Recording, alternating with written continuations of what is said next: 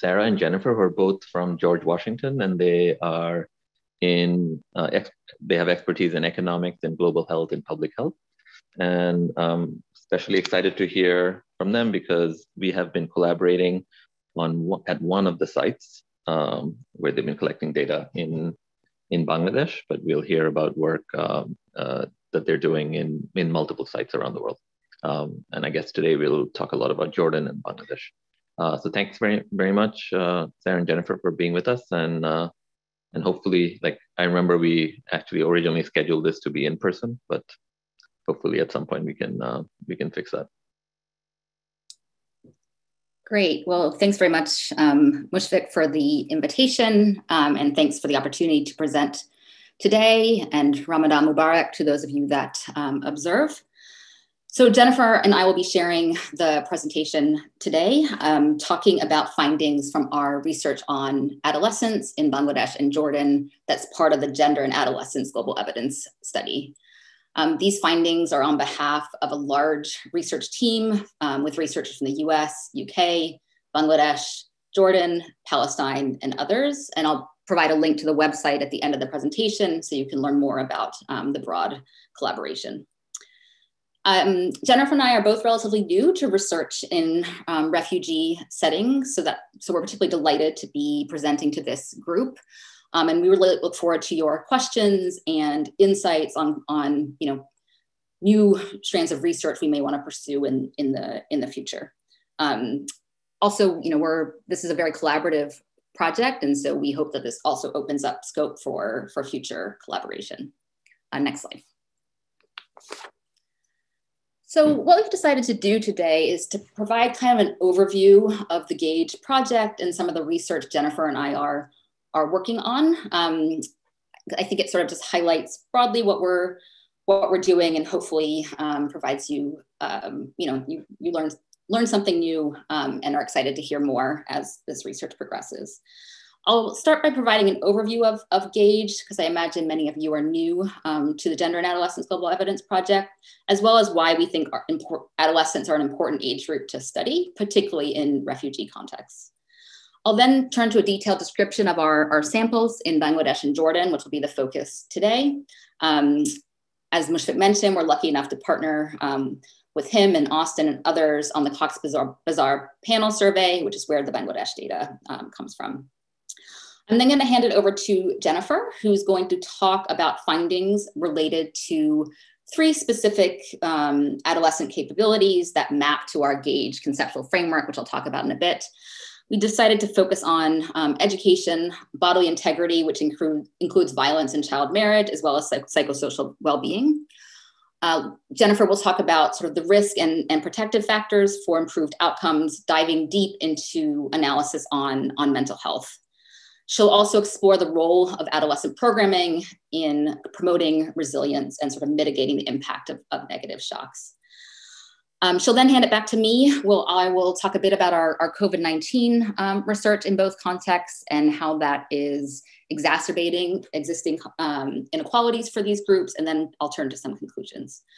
We're happy to um, take questions throughout, um, and we'll also try and pause, um, you know, every 10 minutes or so to, to, to open it up for, for any questions. I want to note from the start that, you know, although Jennifer and I are, are, both economists and typically focus on randomized control trials and, and causal inference, that um, today our presentation will largely be descriptive in nature, really building on the robust baseline data we have in these, these contexts. We will um, complement this with um, some uh, new measurement work, some work combining GAGE data with administrative data, and some quasi-experimental analysis. We also have very rich qualitative data that supports our quantitative data, which I think allows us to dig deeper on certain things that um, perhaps typical studies are not able to, um, to dig into. And so um, from there, let's go to the next slide. So let me just first provide an overview of, of the GAGE research um, agenda, which these two samples fit into, since I think probably for many of you, um, you're not familiar with, with this, this study. Uh, next slide. So GAGE is a nine-year mixed methods longitudinal research program exploring the gendered experience of adolescence 10 to 19 years globally. We're following around 18,000 um, adolescents, close to 20,000 um, boys and girls in sort of seven focal countries. So Ethiopia and Rwanda, Nepal and Bangladesh, and then Palestine, Lebanon, and Jordan. Ultimately, Gage is, is interested in, in exploring what works for whom, where, and why, so we can better support adolescent girls and boys um, in the future. The Gage, I think, in particular, is focused on the most vulnerable adolescents. So this includes working with refugee populations, but also oversampling um, adolescent girls who have experienced child marriage and adolescents with disability. So, our, so we can actually kind of quantitatively say something about these, these groups. I should note that GAGE is, is funded by um, FCDO in the UK and um, led by the Overseas Development Institute in the UK. And Jennifer and I um, lead on the quantitative work. Next slide. So Gage um, is guided by a what we call the three C's conceptual framework. So capabilities, context, and change pathways. This has been really important um, in ensuring that these very varied research streams, both in terms of context we're working in, programs we're evaluating, partnerships, um, et cetera, sort of map on to some overall framework that helps speak more broadly to not only what how adolescents transition from young adolescence to adulthood, but also how context interacts with that, with that transition. Our conceptual framework is built around six core capability domains that you see listed here. Um, this draws on Amartya Sen's work, who argued that to achieve a dignified life, people need a sort of core set of entitlements or freedoms, which he called capabilities.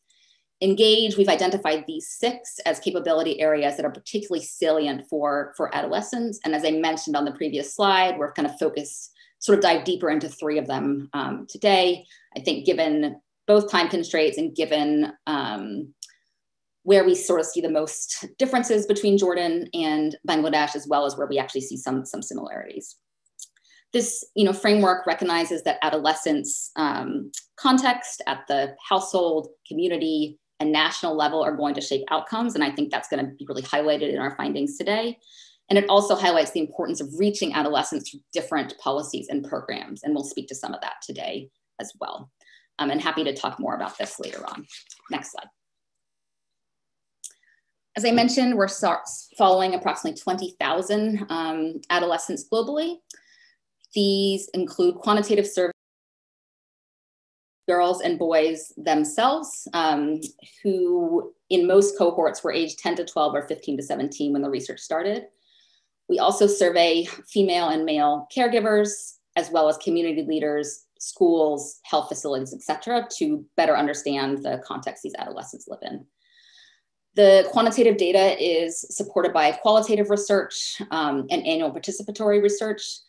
The qualitative data is you know, extremely um, detailed. They have um, methodologies, and you know Jennifer and I, neither Jennifer and I are, are quantitative, uh, are qualitative experts, but we're going to also highlight, support our quantitative findings with some of the work that's coming out of the of the qualitative side. Next slide. I want to just quickly motivate why we're focused on um, adolescents. Why is this sort of an interesting group to, to look at, um, particularly in refugee contexts?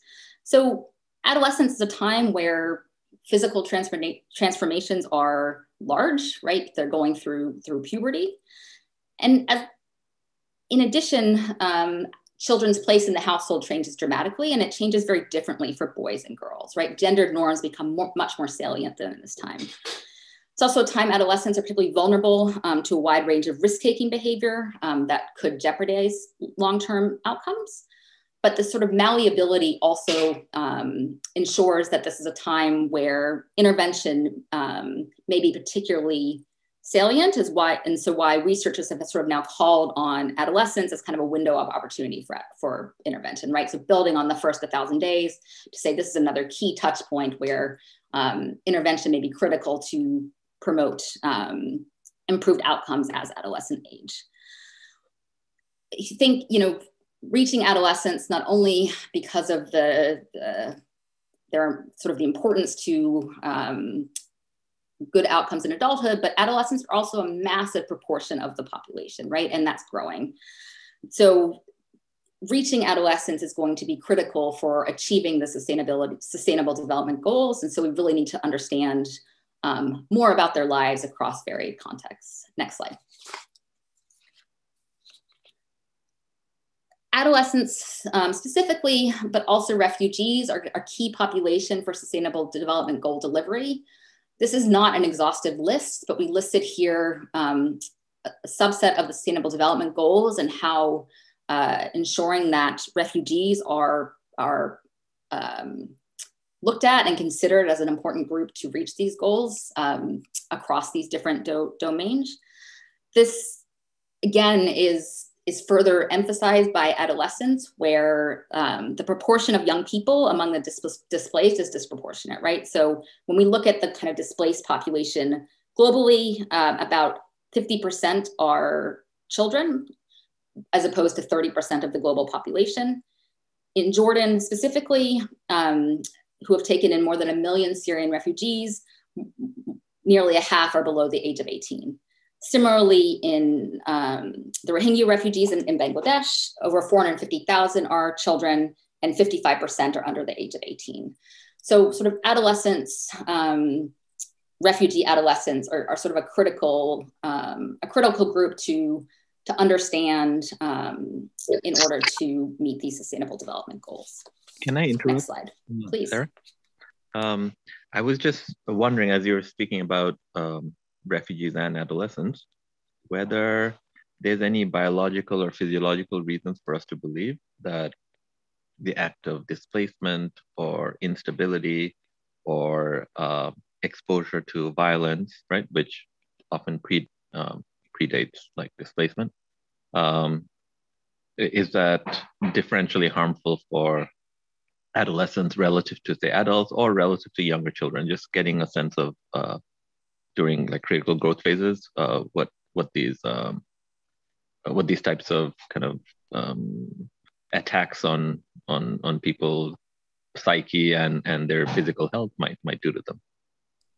Yeah, great question. So you know, I think obviously the, the shock of forced displacement affects all age groups and in different ways. I think for adolescents, um, a few critical things. One, it often leads to, to fairly severe disruptions in, in education, right? So they're sort of either out of school permanently or um, out of school for long periods of time. That's in and of itself problematic for improved adult outcomes, but also, you know, particularly for girls, can lead to um, early marriage, early childbearing, which has its own set of health consequences. And for boys, can end up um, in child labor, again, with potential physical health consequences. Another particularly critical point for adolescents is um, mental health issues are one of the leading causes of disability among adolescents, with, uh, I think, alongside, um, I'm going to forget, but basically it's one of the top three causes. And so we know, and we also know that the majority of, of mental health illnesses in adulthood start in adolescence.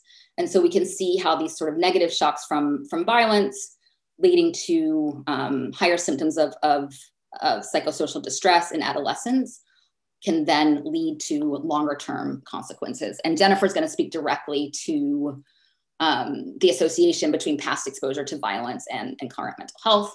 And then just finally, I think the other point is, you know, we increasingly recognize um, the importance of, of nutrition during adolescence. And there's a lot sort of innovative new research around an adolescent growth spurt, right? So if you've missed out in childhood, you may actually be able to catch up if you intervene appropriately at, at adolescence. So again, adolescents going through forced displacement often lack access to enough nutritious food, which again is, is challenging. So I, I think there are lots of reasons why adolescents are going to face certain important consequences from forced displacement.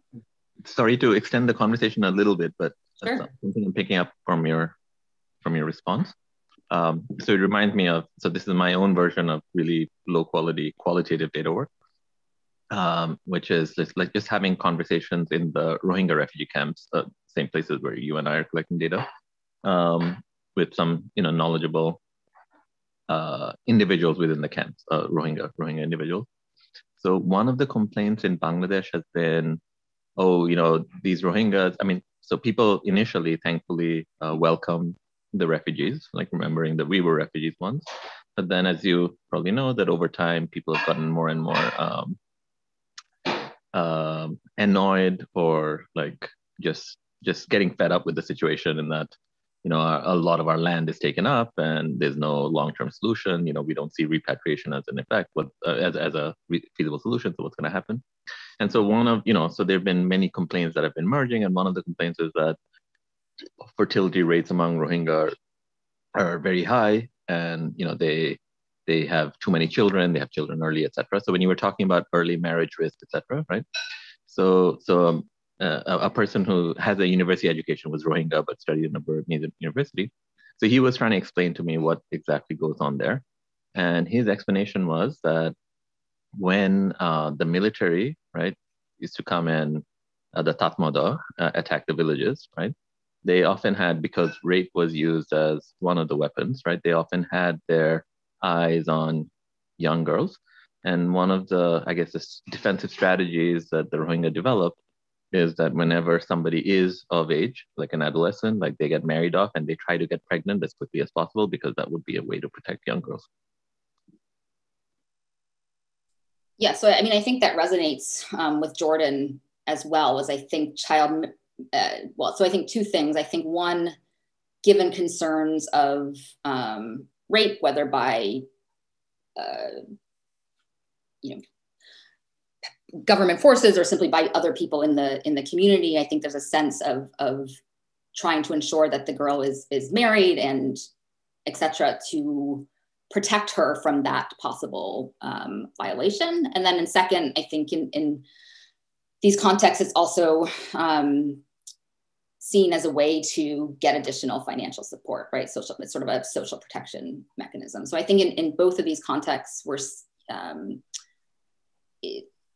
seeing increased um, rates of, of child marriage as, for example, so in Jordan, for example, as some of the more global support dissipated, sort of there was a, a spike in, in child marriage because these households were looking for, for other ways to support. So I think there's sort of a sexual purity piece of it, um, and then as well as in sort of a protection around risks of, of, rape, as well as a social protection angle. Jennifer, do you want to add? Yeah, I was just going to say, um, don't have it in the presentation here, but I've been working on a paper specifically around um, early marriage in the among the Rohingya in the camps, and in the qualitative work there, one of the things that came out very strongly was exactly this um, issue they discussed, which is um, early marriage as a way to protect the girls from um, gender based violence and sexual violence, um, even continuing to occur in the camps as well. And I have a couple of stats on a few slides too, moving forward. Okay, great. Um, so now I'm going to talk a little bit more about our sample. next slide. Great. Um, so in Jordan, we have a little over 4,000 adolescents, Syrians, vulnerable Jordanians, Palestinians in Gaza camp, as well as a, a, a small handful of other nationalities, so Iraqi, Pakistani, etc. These adolescents were sampled from UNICEF and UNHCR lists, so they should be considered sort of representative globally of adolescents in camps and, and informal tented settlements. So ITS or informal tented settlements. Um, basically, any anyone living in a camp or ITS would be in one of these UNICEF and UNHCR lists. And then it should be considered representative of kind of vulnerable Jordanians and Syrians in host um, communities. The Syrians live in host formal camps and informal tented settlements. Jordanians live in host communities and the Palestinians live in one specific camp, Gaza camp. The Syrians live in Zaatari and Azraq um, camp in our, in our sample. At baseline, which was in um, late 2018, uh, the majority of girls and boys were 10 to 12 and 15 to 17. And you can see sort of e fairly equal distributions by, by gender and age. And we also have, as I mentioned, um, oversampled adolescents with disability and married adolescents to be able to kind of speak directly to those groups. Um, in host communities, we're working in four localities, Amman, Mafraq, Irbid, and Jerash. So again, the Jordan sample should be thought of as broadly representative of vulnerable adolescents um, in camp host and ITS communities. Next slide.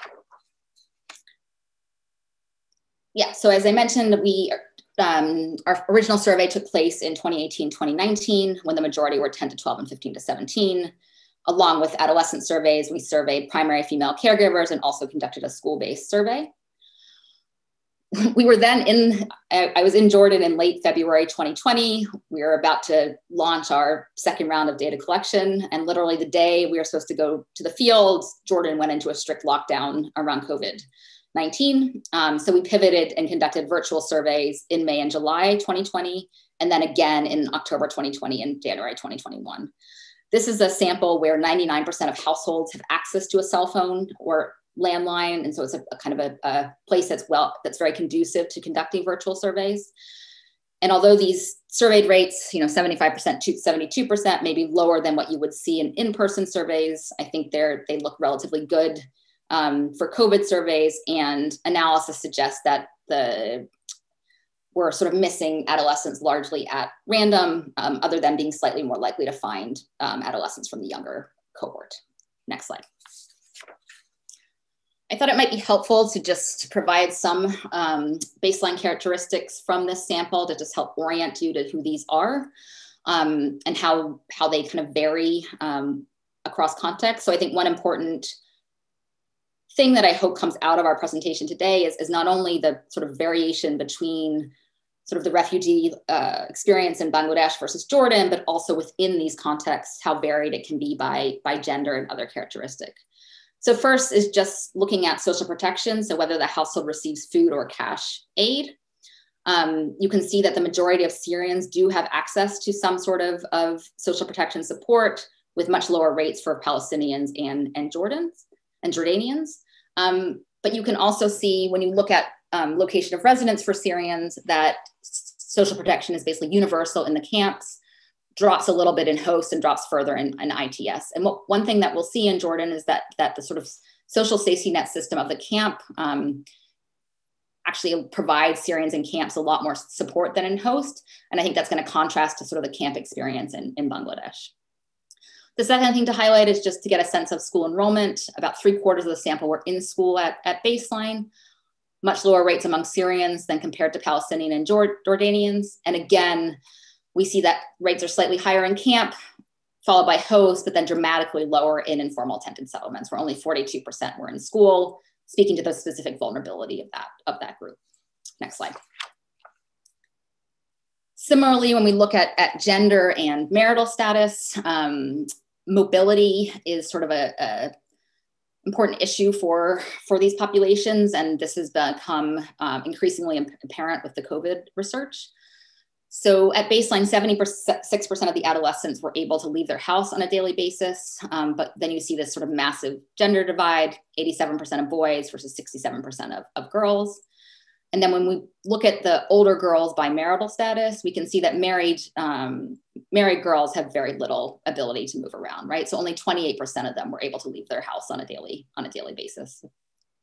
Similarly, when we break school enrollment down by, by gender and marital status, so one is we actually see that schooling rates are similar by boys for boys and girls, and actually um, across the board, education outcomes in, in Jordan, whether it's enrollment, attainment, et cetera, tend to actually benefit benefit girls over, over boys. Once again, we see that, that married girls, not surprisingly, are very unlikely to still be in, in school. And so that's sort of another group with specific vulnerabilities. Next slide. So now very quickly, and Jennifer's gonna dive a lot more deeper into the, these, these findings. Um, so as I mentioned, um, we partner with, with Mushfiq on the Cox Bazar uh, panel survey, which includes a sample of Rohingya in the camps, as well as Bangladeshis in sort of near host and further host um, communities. Our, the GAGE piece of this sample, once again, focuses on adolescents 10 to 12 and 15 to 17, with again, oversampling of adolescents with disabilities and, and married adolescents. Um, there's a very detailed listing and sampling process to sort of ensure represent that these samples are broadly representative of the camps and the and the hosts, with a couple of, of exceptions where we were unable to do surveys in a couple of the, of the camps. Um, next slide. So our sample here is a little over 2,000 adolescents who were first surveyed in, in sort of mid um, to late 2019. Once again, um, we also surveyed primary female caregivers. What's really nice here is that this data set links to Mushfiq's broader data set, which has a lot of household and adult level information.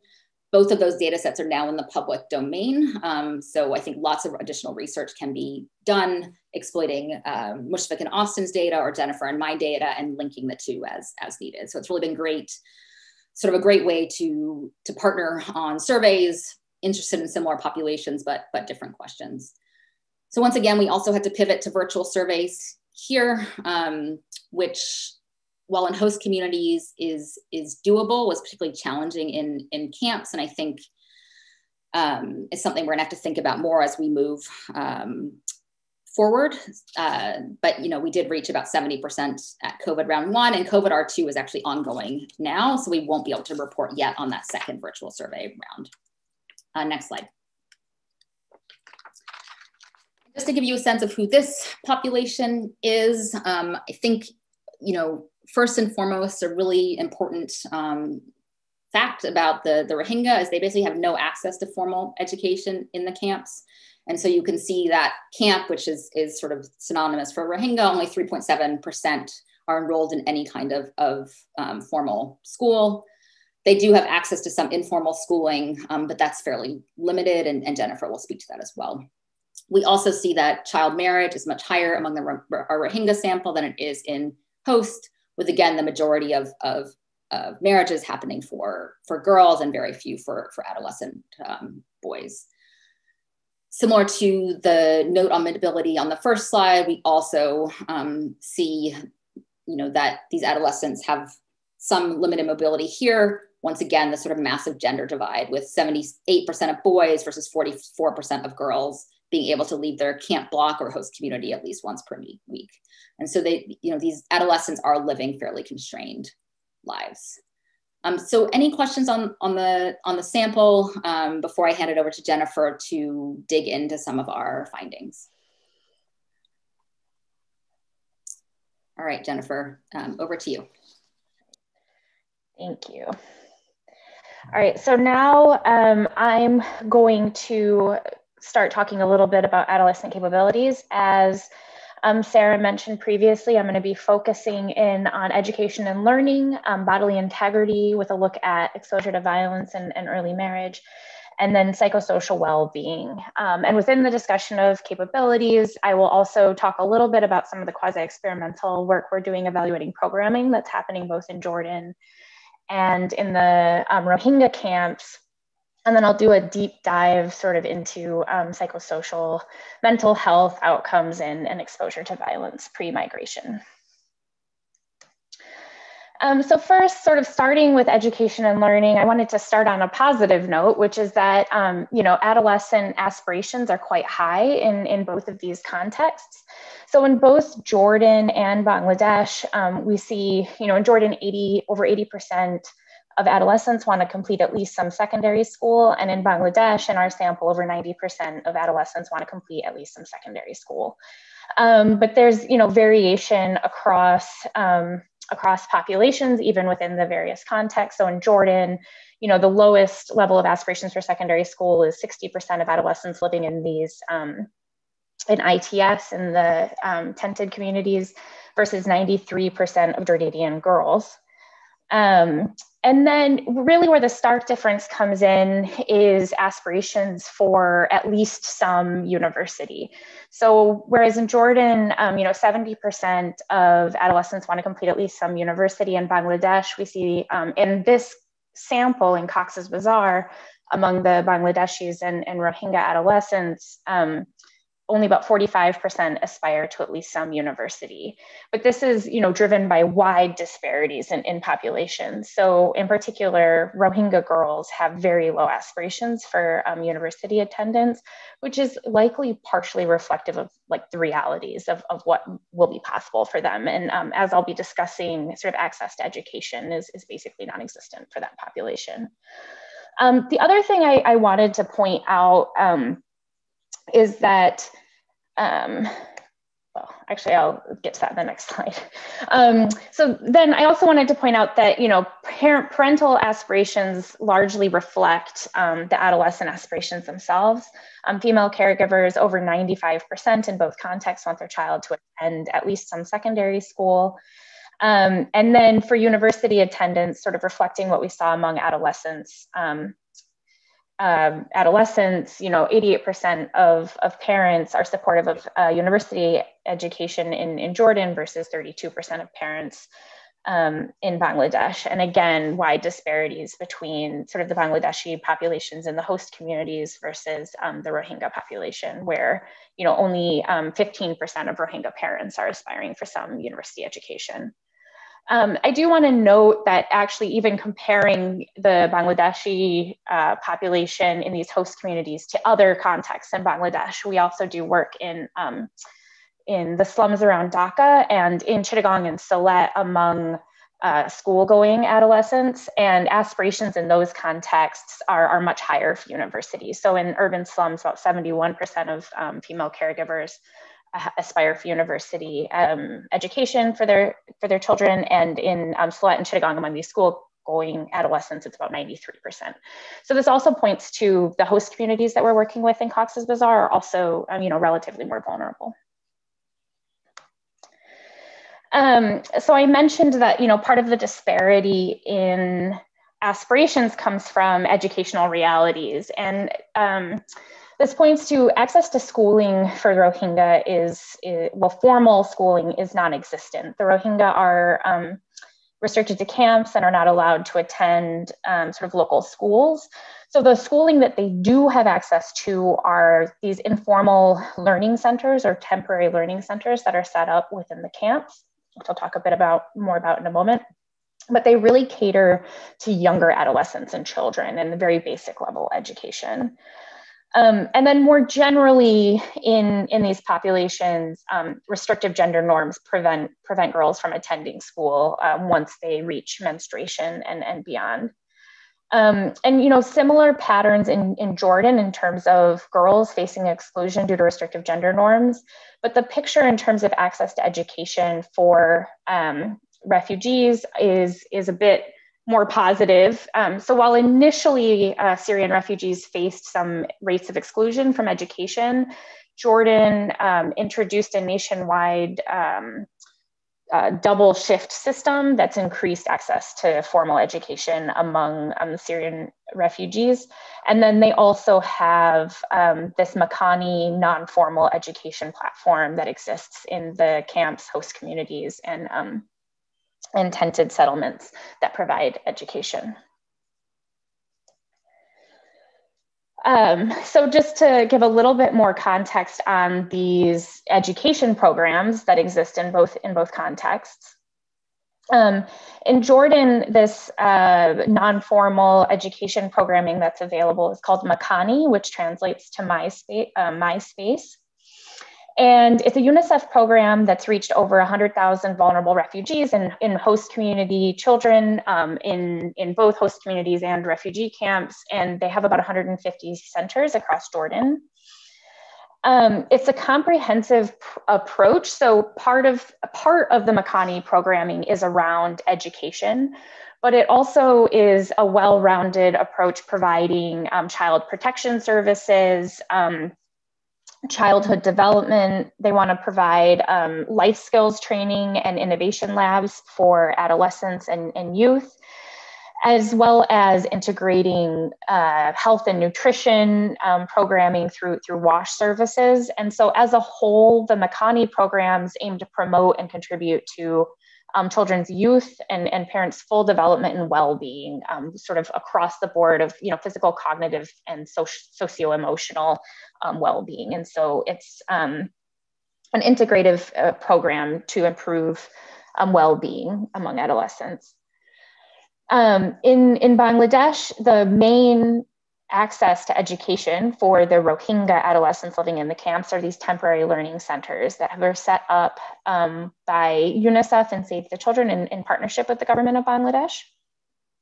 And The temporary learning centers are much more focused on trying to provide learning progression for children um, and adolescents, but very much focused on lower level, um, like young young children, with with the learning um, and teaching focusing on like learning to read and letters. And so, you know, our experience with uh, older adolescents through qualitative interviews is that they find the program sort of boring and and and um, like too low level.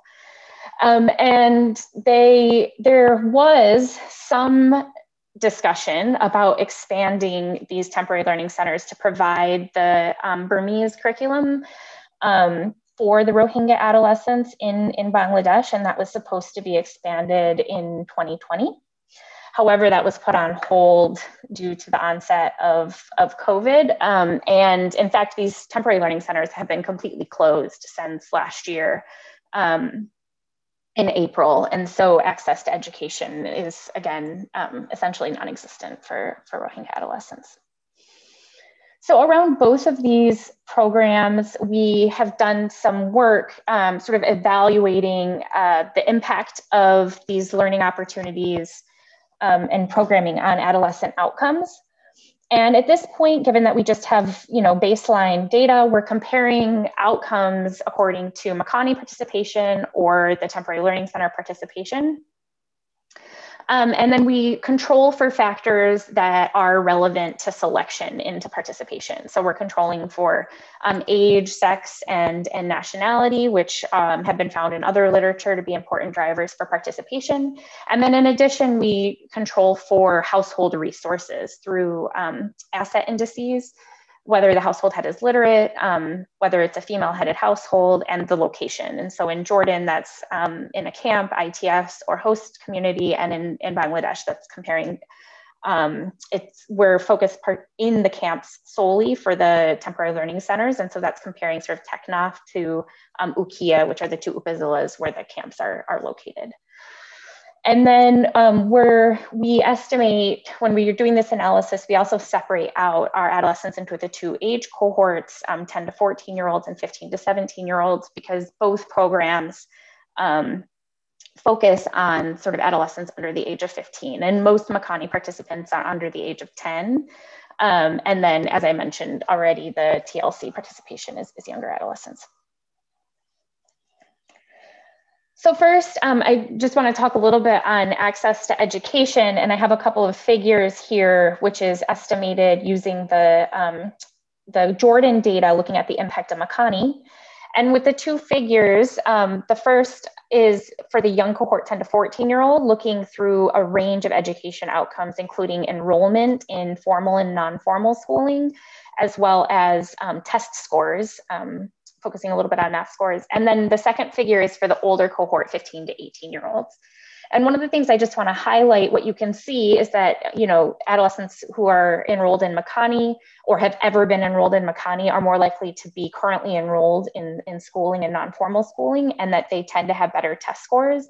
But that these seem to be especially manifesting for the older adolescents, the um, 15 to 18 year olds, even though they may not currently be enrolled in Makani, sort of pointing toward um, the supportive role that Makani may have played uh, when they were younger to um, carry them forward for better outcomes in, in later, later adolescence. And then um, we don't have as wide of a range of, of outcomes um, for the Rohingya camps, but the temporary learning centers also increase the likelihood of enrollment in non-formal education by about 64 percentage points um, just to note that the temporary learning centers account for about um, 50% of the enrollment in education. Um, sorry, about 50% of adolescents are enrolled in the temporary learning centers for the non-formal education. So a lot of this is, is driven by the enrollment in the non-formal education centers them, um, themselves. Um, so now you know turning to violence and here i'm going to talk a bit about more like daily violence that adolescents are facing um, in their lives uh, sorry jennifer just one Jordan, question. Mm-hmm. one question from the chat before you go on is just the question is do the temporary learning centers include child friendly spaces as as well? Um, how, how exactly are they set up? Yeah, um, so they do have um, child friendly spaces. I will um, have to check specifically on on how those are structured and perhaps when um, Sarah takes back over on the second half and I can um, come back to respond to that toward the end. Thanks. Um, so in Jordan, sort of day to day experience of violence um, has tends in terms of reporting from adolescents focuses around um, sexual harassment by adolescent girls is, is commonly reported um, in the qualitative work, there's discussion of boys and young men tend to stand around outside girls' schools as they leave and, and follow them home. And so this is a common occurrence. Um, nearly half of the adolescents are reporting violence at home, and this is potentially, you know, violent discipline um, from parents, but this is much more heavily um, a higher burden is carried by boys, with 42% of boys' mothers admitting to using violent discipline compared to 31% of, um, of girls' mothers.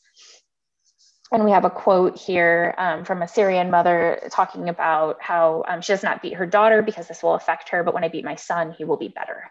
And sort of this viewpoint of um, variance and discipline between um, male and, and female children. And then um, bullying is, is common. So 46% of 38% of girls report experiencing um, peer violence, which could include like physical violence as well as, as, as name calling. Um, the picture is really very similar in, uh, in Bangladesh where um, you know both camp and host communities um, adolescent girls are reporting uh, sexual harassment and gender-based violence um, you know 15% of, of married girls report having experienced some form of, of gender-based violence um, and then again, peer violence and bullying is, is common with 45% of adolescents experiencing peer violence. And this is across both camp and, and host communities. Though I would note that um, peer violence is more commonly reported in, in host communities in this context, where um, uh, 54% of adolescents reporting some form of peer violence in host communities versus 30% in camps. And one of the big um, challenges in terms of, of violence comes uh, with early marriage um, and uh, married adolescents, which we've already talked a little bit about um, earlier in the presentation. Um, but just to reiterate, in, in Jordan, 18% of the um, 15 to 17 year olds in the sample, almost entirely Syrian, were already married. And in Bangladesh, this, the share is a little lower, but we found in our own sample among 15 to 17 year old girls, about 12% of the females were, were already married.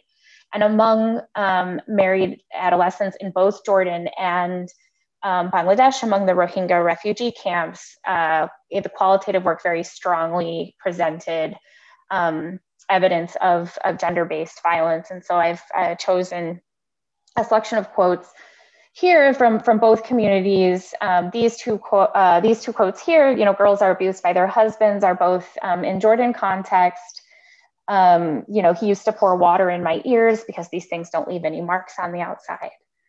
In the Rohingya camps, um, IPV is happening within marriages, but it's very well known even to um, unknown girls. And so this is a quote from a 16 year old unmarried girl who um, says she has heard a lot about this from many persons when wives don't listen to their husbands, they're beaten.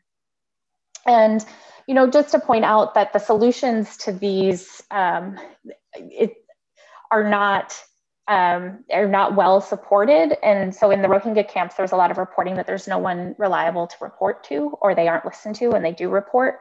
And in um, in Jordan, you know, one of the main outcomes is is divorce in, in these settings. Um, so then turning toward uh, mental health, um, and then we'll kind of do a deeper dive.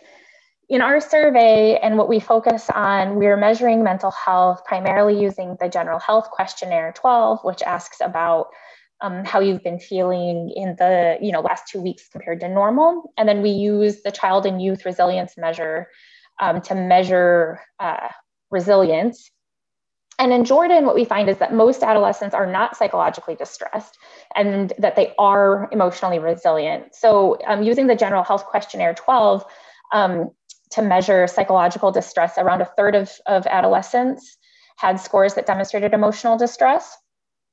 Um, but this varied across uh, populations. And so, in the Jordan context, older girls are 11% more likely to be distressed than, than older boys. Um, and in Bangladesh, you know, rates of emotional distress measured by the GHQ-12 are much are lower, around half of what's reported in um, in Jordan. But there are significant differences between older and younger adolescents, with you know 20% of older adolescents reporting psychological distress compared to 10% of younger adolescents. And actually, the most affected group in Bangladesh is around the older males um, particularly in the Rohingya camps. And in the qualitative work, one of the major concerns that came out is um, financial reasons and um, boys, you know, shouldering a majority of the concern about the, you know, work that they need to do to contribute to household incomes. Um, so again, kind of thinking back to the programming and, and what exists and um, how we might be able to think about supporting um, the psychosocial well-being of adolescents, we have looked at among younger adolescents the role of the Makani programming and the temporary learning centers on you know resilience and um, psychosocial mental health as measured by the GHQ-12. And what we find in both contexts and this is particularly driven by young boys. And so these are the results that I'm showing here is that being currently enrolled in um, Makani or currently attending an NGO program um, reduces the GHQ 12 score by about um, 0.3 points. And in Bangladesh, this translates to about an 11 percentage point reduction in the likelihood of experiencing psychological distress. Um, which is, you know, given that among young adolescents as a whole around you know 10% of them were experiencing psychological distress. This is quite a large large effect in that you know adolescents that are engaging in this programming are um, having better outcomes um, suggesting that supportive environments are are crucial in these cases. Um, and then finally i do just want to mention you know one uh, again coming back to early marriage and the negative impacts that this has on adolescents as you know alongside gender-based violence one of the things that we found in some recent work um, i've been doing on early marriage in the rohingya population is that when you look at um, phq9 scores which is another um, you know clinical diagnostic tool for a moderate to severe depression um, 37% of our married adolescent girls exhibit signs of moderate to severe depression um, compared to 11% of the older unmarried girls in the Rohingya camps. And so, um, you know, early marriage, although maybe uh, potentially protective, is, is causing a fair amount of, of distress. Sorry, Jennifer, one okay. other question before you um, yep. move on. Um, so is divorce socially acceptable or are there some repercussions for girls who get divorced? Do they go back to live with their parents? Um, as probably they're sort of not economically active. I can speak to Jordan in that um, it's yes, there you know is stigma um, associated with being divorced, and yes, they do typically go back to live in their homes, but it, it, it has become so common, so you know, kind of and and these many of these girls do then go into marry again fairly quickly. So yes, stigma, but it's at least in Jordan is, has become um, uh, very common. And I don't know, Jennifer, if you can speak to, to Bangladesh. Yeah, in the Rohingya context, um, the divorce did not come up um, strongly in the in the research on early marriage, and and my understanding from the context is it's not um, it's not socially acceptable, and it's it's um, and so it, it's not really an option um, in that context. Um, Jennifer, so just let you know, we have, about, we have about 25 minutes left total. Yeah, so I'm gonna, I think some of this motivation slides I'll be going through a little bit quickly um, since we've already kind of provided that motivation. So what I want to talk about here, and I think I'll focus a little bit on mental health measurement, um, is some work that we're doing using children's drawings uh, to, to measure as, as potential measures of, of mental health in these um, contexts.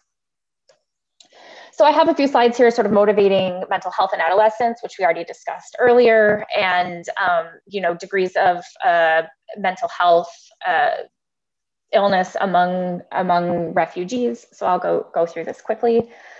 But what I do want to um, stop and talk about is that you know a big challenge in terms of measuring mental health in these contexts is um, you know how to assess psychological distress for very young adolescents, particularly when we're talking about 10 and 12 year olds. Although you know the GHQ-12 has been validated in, in multiple populations, administering these complex survey instruments in you know potentially um, fragile contexts can be can be difficult, and especially in cases where adolescents have limited education and are struggling to understand concepts. And so, one promising methodology is children's self-portraits um, and and free drawings. And these have been used in clinical settings as a gauge of, of mental health and other contexts. And there has been some recent research using children's drawings for measuring psychological impacts in, um, in field studies. And so we're building on this to um, look at the feasibility in, in our context as, as well. Um, so, you know, the empirical literature has established link between some characteristics of children's self-portraits and free drawings um, and elements of psychological health. And I'll show some examples of what that might look like in a couple slides. Um, and the nice thing about drawings is that if we can associate, you know, features of drawings to mental health, we might be able to learn um, things about mental health that would be difficult to obtain from direct questioning, either because um, adolescents don't want to respond directly or don't understand the, the concepts themselves. And so, what we're doing with these drawings is um, we basically give the adolescents a sheet of paper and a set of colored pencils and a, and a flat place to draw, and we um, give them simple instructions. Um, so, we do both free drawings in the GAGE context, and then we have um, from another data set uh, self portraits. But essentially, the instructions are I'd like you to draw a picture on this piece of paper using these pencils, um, and feel free to draw whatever you're thinking about. It can be a picture of anything, and they have 15 minutes. And if it's a self portrait, then we just specify that. Um, so we have these drawings from two data sets among um, Syrian refugee families. And so one was collected in 2016 um, by um, colleagues at University of San Francisco, Bruce Wydick, um, Rafael Panlilio, and um, Stephanie Smith collaborating with us on this work. And then um, they have data on children five, ages five to 12. And then we have the GAGE Jordan data that we've been talking about today, focusing particularly on the Syrian adolescents aged um, 10 to 12. And um, for the USF data set, we have portraits, um, and for the GAGE Jordan data set, we have um, free drawings.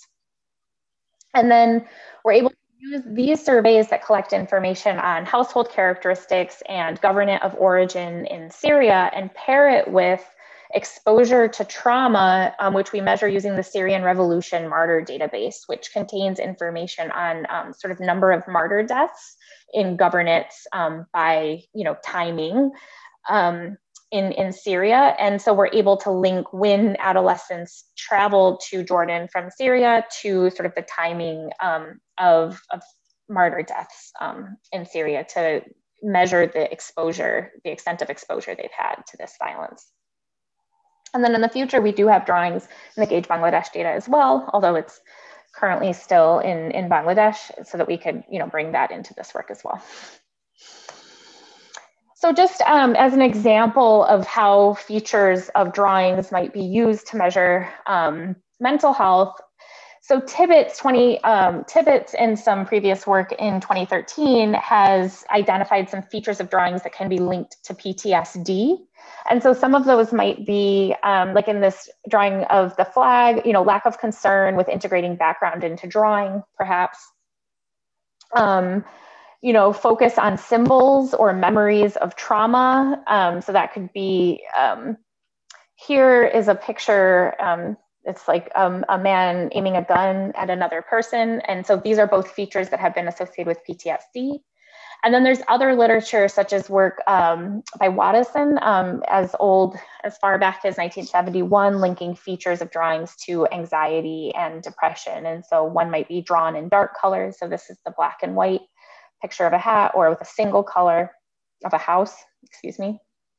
Um, or even you know positive features of drawings indicating low anxiety or happiness. So having you know bright colors etc and so then this is how we've had we have these drawings and we're when we code them according to these features and then are able to classify them into indicators of depression anxiety or ptsd that we then use as measures of mental health Um, and then um, we estimate the relationship of these measures of mental health um, that we build from the indices um, using a simple regression. Outcome is our index of anxiety, depression, or PTSD, and then X is our um, is a vector of refugee experiences that includes exposure to violence or assimilation, and then we control for various um, household characteristics. And what we find is that exposure to violence as measured by the Syrian martyr, martyr database is um, positively correlated or indicating higher levels of PTSD as measured by these drawing indexes, um, both in the USF data among the 5 to 12 year olds in 2016 and in the GAGE Jordan data um, um measured more recently in 2018 and 2019. And then in this data, we're also able to measure um, integration of the Syrian refugees into Jordan communities, so those living in host communities. And we can see that um, ad- adolescents that have been reintegrated into Jordan society, that um, this is these supportive environments um, are associated with reductions in, in um, experience of, of PTSD in the USF data, and then also reductions in experience of depression um, and anxiety across, across both data sets. And so what we see is that these measures of anxiety, depression, and PTSD as indices of um, mental health, um, sorry, indices of, of drawing features are associated with these past exposures to violence. So then what we want to do is identify in particular features of these drawings that are associated, uh, most associated with exposure to violence, and then whether these same features of drawings can be associated with more traditional measures of mental health, such as the GHQ-12. And we do that using um, Lasso, which um, is a tool to identify um, to identify basically the most important correlates with an outcome of interest. And so we use Lasso to estimate the following specification, where we have our outcome, in this case is now exposure to violence, and we're trying to predict the violence with drawing features, which we have here um, in this D feature. And we penalize these drawing features in order to identify the most important drawing features um, in this case. And then we have our um, control variables that we don't penalize that are household characteristics. And we estimate this lasso separately on each of the two data sets, the USF data set and the GAGE data set. And what we find is in both cases, um, the drawing of aggressive action figures is um, retained as being highly predictive of exposure to violence. And so this is the most important feature but I but you can also see other features that were retained through the through the lasso estimation um, in each data set as well, including you know shading of face of body, um, um, monster pictures as also being positively correlated with um, with violence. And so what we're seeing is that there are strong correlations of these drawing features um, as being able to predict um, higher exposures of, of violence measured through the Syrian database. Um, and then just very quickly, we then took those features that were identified as predictive of, of violence and can also show that they are correlated also with um, signs of psychological distress, which we mainly point out here to say that these features are identifying something that is correlated with, with mental health um, as well, so that we aren't just talking about violence and drawing, but, um, but also can really link this back to mental health. So I will wrap up there and, um, and hand back to, to Sarah. Great. Um, thanks, Jennifer. Um, you know, I think there's a number of questions in, in the chat, and I'll make sure we I leave you know five minutes to to get back to these. I mean, I think mental health measurement in general, mental health measurement among adolescents, um, you know, is something where continued research is is needed. One thing that, um, you know, for example, it seems like some of the rates of, of symptoms of psychological distress are lower among these populations than typical adolescents in low and middle income countries, and that may be partially because you know anxiety is such a is almost normalized for them. And so I, I think we need to do a bit more to to figure that out. And then i think you know one there was a query around access to to services. And i think you know yes there's stigma around mental health. And then even if you identify it there's limited access to services. I know there are a lot of innovative low cost um, methodologies being explored but i really think this is is you know a place where um, a lot more research is is needed Okay, so I, I have about 10 minutes. Um, so I'm not going to really do this this part justice, but given that I think COVID-19 is, is on the top of our, our minds, and particularly given the massive increases in cases in, in Bangladesh as well as in, in Jordan, um, I think is, is particularly uh, salient for these settings. I'm going to skip um, most of these slides, but just highlight kind of a few things that have come out of our, of our research. Uh, next slide. so, so very quickly, just to, you know, for those of you that perhaps don't, don't work in these contexts and haven't been following what's happening with COVID, that'd be nice to just provide a, a, a graphic of kind of the trajectory of COVID-19 cases over time and key policy moments. Of most relevance for this conversation is that when we conducted the, the first round of COVID data collection back in, in May, um, Jordan had one of the most strict, the strictest lockdowns globally and cases were very, very low. Um, when we are resumed our second round of field work in late 2020, early 2021, um, they had largely uh, relaxed those restrictions. Cases were um, increasing pretty dramatically, and schools tried to reopen briefly, but then had to shut down. Um, and in fact, you know, last March was actually the highest case caseload in Jordan thus far. And so there, I think it, things are starting to to turn, um, but sort of you know, second round of data collection was taking place when when there was a fairly high rise. Next slide.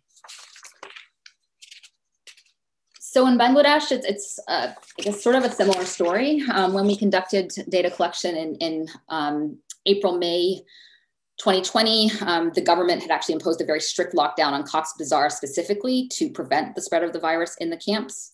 Um, this included um, closing all the, the learning centers and sort of other non-essential um, NGO programs data collection, as I mentioned, is still ongoing um, right now, but similarly, cases are rising dramatically. Bangladesh announced another lockdown on April 5th, with sort of a more severe lockdown set to start to tomorrow. Uh, complementing this, there were actually horrible fires in the camps, um, sort of further, uh, um, you know, preventing challenges on their lives. And, and up to today, as far as I know, not a single Rohingya has received a, a vaccination. Next slide. Uh, next slide. Next slide. Right, so, you know, adolescents obviously are not really being affected by the, the direct health impacts, um, but school closures and, and the economic disruption um, has been huge. We uh, collaborated to develop a module just asking for both the adult and the adolescent their perspective on, on how COVID has impacted their community across a variety of different dimensions. And as you can see, almost everyone um, notes that people have lost jobs and schools have closed, and also lots of people noting increases in violence, um, people using shisha and other types of substances, uh, uh, people unable to get medical care, and then issues around self-harm um, and suicide. And this has also come out in the qualitative work. So this just highlights, you know, how dramatic this, this shock has been um, as perceived by these households. Next slide. Similarly in Bangladesh, so here these are from the adult's perspective, comparing coast and camp. And once again, you know, most households have effect had some sort of, of um, employment or income loss, schools have closed, and people are perceiving, you know, increased anxiety, increased violence, um, food insecurity, etc. So the, you know, the, while the direct health effects um, have not been, at least to date, perhaps as large as they have been in, in places like the U.S., you know, the lockdowns in these contexts have sort of massively disrupted these people's lives. Uh, next slide. All right, so I'm gonna just focus on a few key um, results. Um, this is the first one, which is around food insecurity. So we asked the adolescents how many meals they had with animal protein yesterday. This also includes some data from our other um, sites.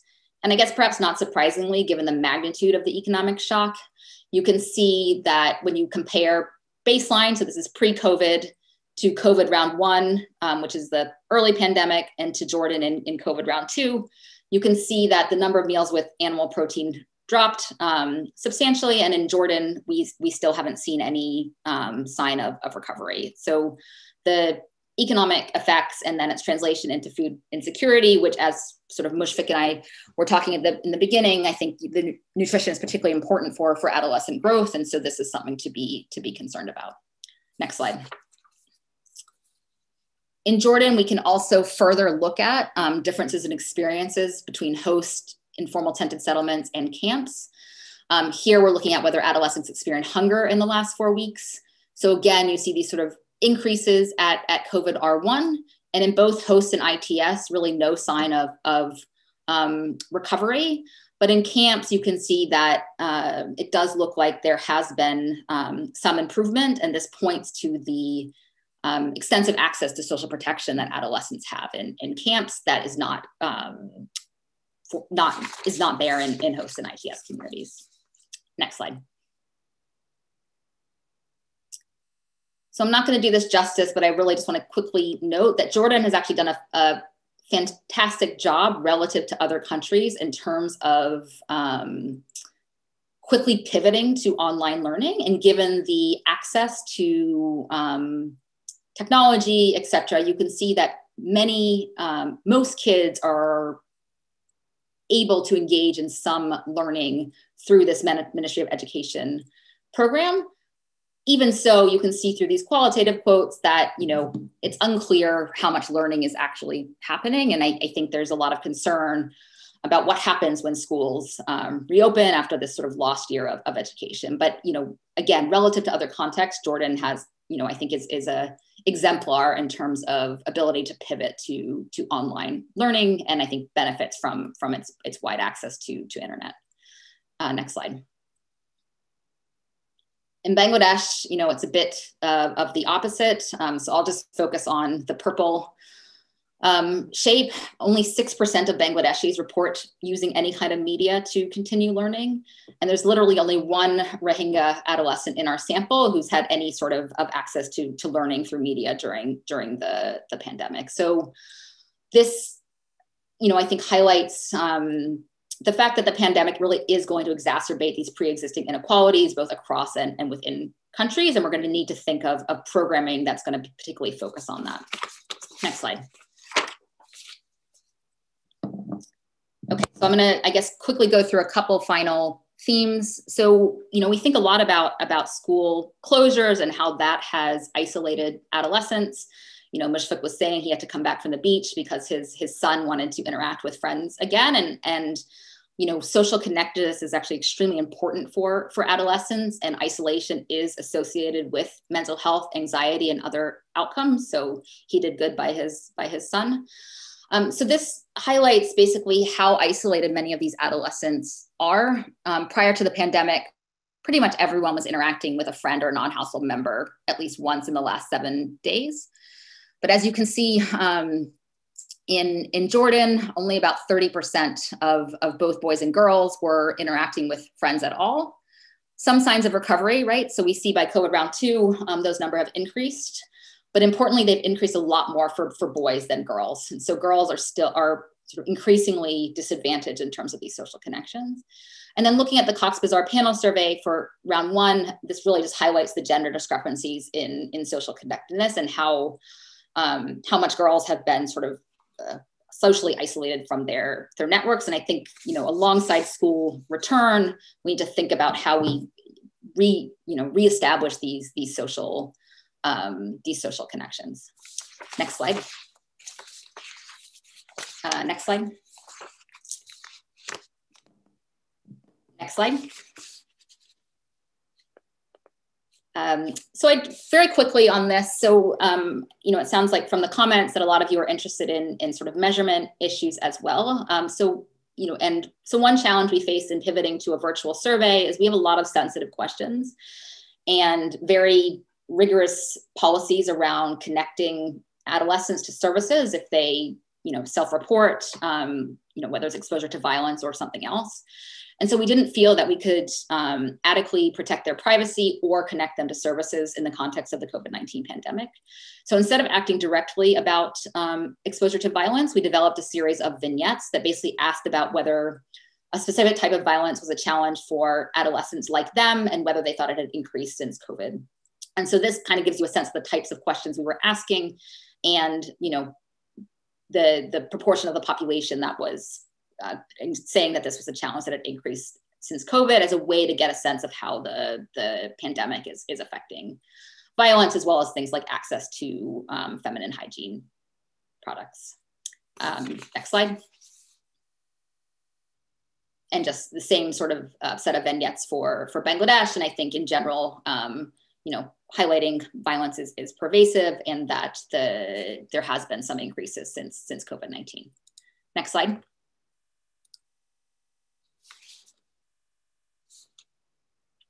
So I'll just end with this finding um, before um, opening it up for any final questions. So, you know, there's a lot of concern around whether COVID-19 is going to exacerbate um, child marriage, right? So I think, you know, we've highlighted the particular vulnerabilities of girls who are already married and our COVID-19 findings indicate that they have also they have been disproportionately affected along many dimensions.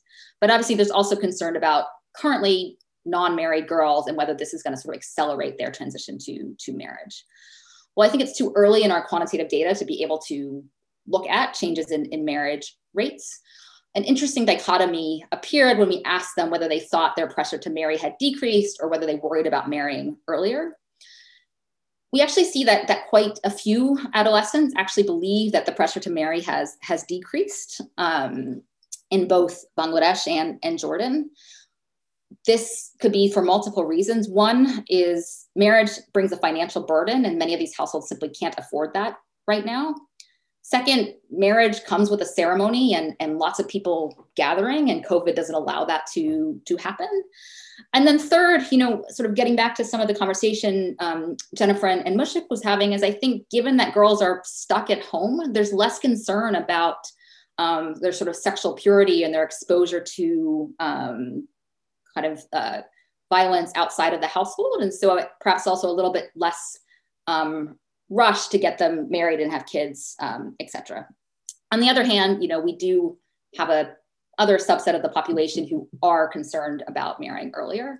And so it'll be, you know, one of the beauties about this data being embedded in, in longitudinal work is we'll be able to see over time um, what actually happened with, with marriage rates as a result of COVID and, and whether, you know, this we are actually seeing this this dichotomy. And and this actually comes out in a lot of our covid data is you know certain households saying they're getting a lot more support others saying they're getting a lot less. And so exploring those dichotomies in in attitudes um, i think will be important in looking at sort of post covid um, recovery. Next slide. And if you can just go to the conclusions jennifer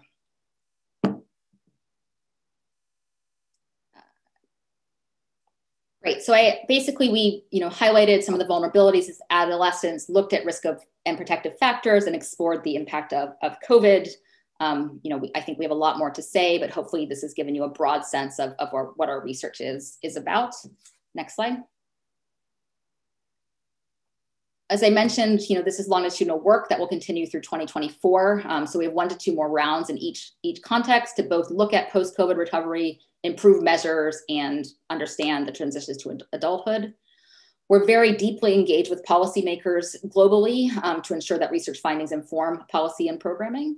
All data will be publicly archived. Um, so, you know, this as we go, this data will be available for others. And we do really welcome broad multidisciplinary um, collaboration and hope that some of you will reach out to us with, um, you know, with, with research ideas or, or desire to, to collaborate. Next slide. Uh, next slide. ton of, of GAGE publications on the, the website. Um, I encourage you to go look at it if any of this has interest to you. And then final slide.